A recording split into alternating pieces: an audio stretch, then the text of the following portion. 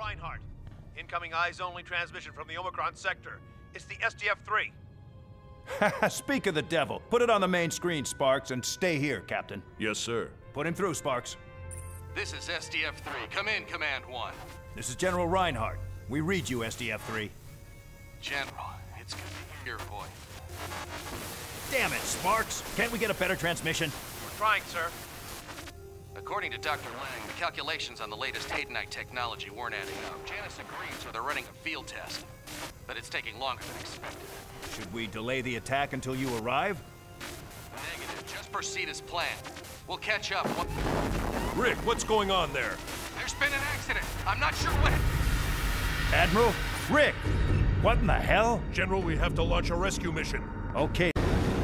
Captain, we're receiving a short-range transmission. It's Admiral Hunter. Finally, some good news.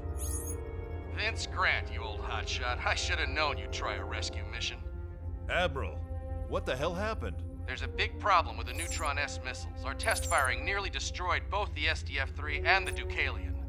What's your status? We're in pretty bad shape. Most of the ship's propulsion, long-range communications, and weapon systems are offline. We'll send over an engineering team.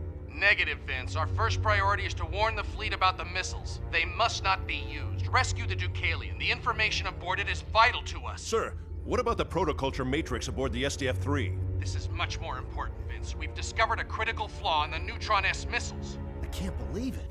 Under no circumstances should the fleet use the Neutron S missiles on Earth. Understood. Stand by, Admiral. Contact the fleet, priority channel. I need to talk to General Reinhardt right now. Yes, sir. Mayday! Mayday! This is the SDF-3. After my sister died, Rick and I were like brothers. I owe him so much.